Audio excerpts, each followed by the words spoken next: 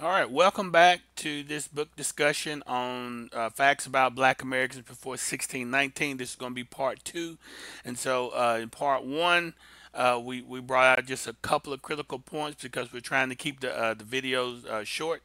But this this information is powerful. It's a small book, but it contains a lot of powerful information. So I just want to make sure that we we, we highlight uh, certain points for you to be able to teach to your children and bring out when you when you're talking to uh, family members uh, or, or whatever. And so last week we hit two uh, main critical points in this document, and we talked about how that most of us don't know that the uh, transatlantic slave trade actually started during the Spanish and the Portuguese Inquisition. All right. And, you know, a lot of people know that the Jews were kicked out of Spain in 1492, but they don't realize who those Jews were. And so these Jews were actually the black Jews, you know, that were kicked out of Spain uh, and Portugal. All right, so last week, uh, you know, we learned uh, number one, point number one, that the term Jew was equal to the term Black Portuguese, and both of these terms were equal to the term Negro, and that's how we got to be named Negro. And we also established uh, from this documentation that the Moors were a distinctly different group of black people. You know, both the uh, black Moors and the black Jews were in Spain at that particular time. So we also established from this documentation that a royal order from the Portuguese declared that only the Negro Jews were to be targeted for the transatlantic slave trade and that they specifically and intentionally excluded the black Moors as targets. So when I initially posted this information on TikTok, uh, you know, they took the video down for misinformation. But then I had plenty of supporting uh, incredible documentation to back up what I was saying. And so I offered to provide it, you know, upon appeal. And so TikTok uh, subsequently, they reposted the video. So this is not, you know, um, this is this information is doc well documented. So you know, it just people have been trying to hide this from us. So now point number three that I want to make today is to focus on the various locations that this documentation says that the black Portuguese or the black Jew or the Negro uh, was transported. All right, so we're going to go to page 15, and we were on page 15 before. And, you know, uh, like I said, it's a small document and it's jam packed full of uh, uh for information. And so in this particular section of the document, Las Casas has, has, has already proposed a general royal order so that the Negroes uh, would be the target of the slave trade and not the Moors. Las Casas' proposal was executed in 1517. This, when we say that his proposal was executed in 1517, what we're saying is that this royal order that he got to only uh, take the Negro slaves or the Jewish slaves, uh, the black Jews, into custody for slavery was executed officially in 1517.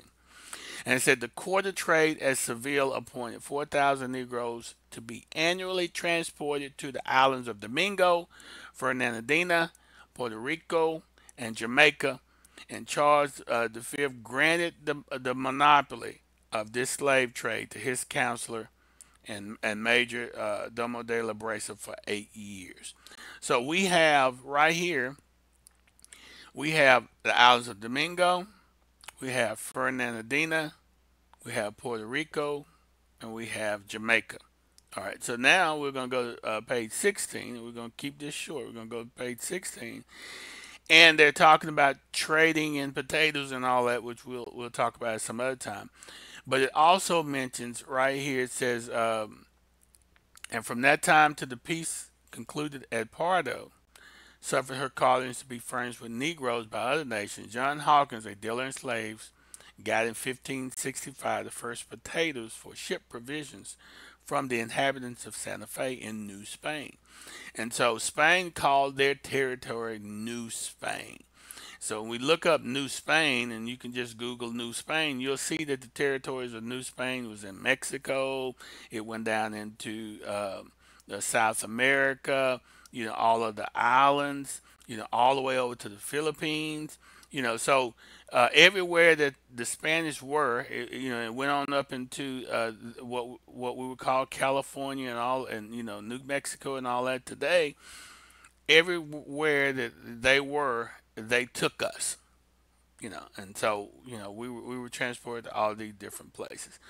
So I really just wanted to focus in on you know where all uh, you know we were sent to the black Jews, uh, the black Portuguese, uh, or the black Spanish Jews. We were all the same people because we were escaping from Spain and we went to Portugal. So we're all we were all the same people. So it's important for us to, for us to get this information. So we have other documentation as well to show that we were the ones that were put uh, on on the islands. We also have genetic information to show that the same people who uh, you know were transported you know from from West Africa and from Spain and were transported to the islands you know all have the same genetic markers. So it, it's a lot of information out here for us to for us to study and and begin to understand you know how how we got here. All right so like i said you can you can purchase this uh, particular book uh, you know uh, for ten dollars and you can also get you know the two free documents or you can just get the two free documents without purchasing anything. It's, it's up to you. And we also have audio book that you can download. If you download the audio book you'll also get the ebook and you also get the two free uh, downloads as well.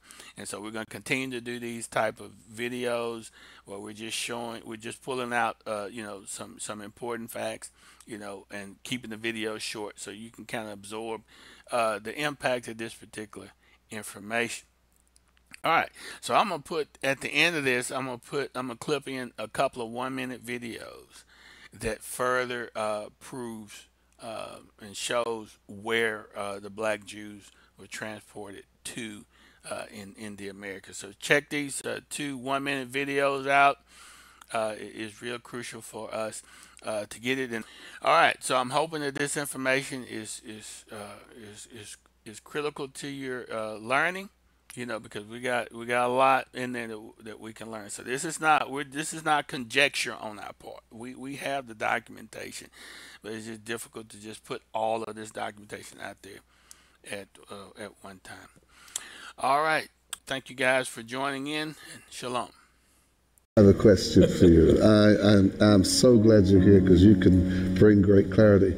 Can you tell us a little bit about the Sephardic Jews and how they were scattered because um, they went west? I sure can. Because the reason why I want to is because a lot of them, and a lot of people don't know this, are in the Caribbean. They are in the islands. I and know you're that. one of them. I know I'm that. One of them. I know that uh, because you know a lot of folk don't know that those roots are there. One of the first um, batches of slaves that came to Jamaica they were the Sephardic Jews. It's documented. And they're all over the, Caribbean, over the Caribbean, South America, Central America, yeah. and even the central, South Central United States. Wow. And DNA testing is a factor in all this now.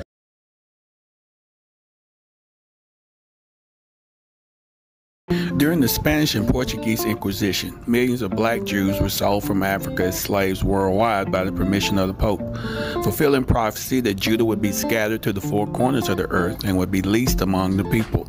As a result of the Inquisition, we see Judah today depicted in South America as Afro-Brazilian, Afro-Colombians, Afro-Argentines, Afro-Peruvians, Afro-Venezuelans, Afro-Chileans, Afro-Ecuadorians, and Afro-Bolivians.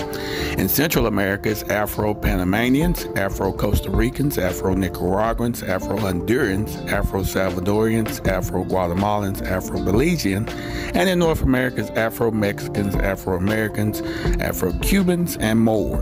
In every one of those nations, they are considered to be the least among the people. The Messiah states clearly that the least among the nations are his brethren, and that the nations of the world will be judged according to how they treated them. Wake up. In a shocking 1700s historical document of black Americans, a German professor used the term Negro as a reference to black Jews both in Africa and in Portugal. The author also makes a clear distinction between the black Jews and black Moors. The Moors were largely a distinctly different mixture of black people, most of whom had converted to the Muslim faith. The author candidly points out that the black Jews were specifically targeted for the slave trade, and that the black Moors were intentionally avoided, and that the Negroes, also known as black Jews, were then sent to the Americas during the slave trade. Get your ebook and audiobook bundle today. Choose from the following three options. Option 1. Get free copies of the original 1700s documents only. Option 2. Get an easy to read edited ebook, plus free copies of the original 1700s document for a low price of $10. Option 3. Get an audiobook for easy listening, plus the easy to read edited ebook, and also free copies of the original 1700s document for a low bundle price of $15. Learn the real history they don't want you to know.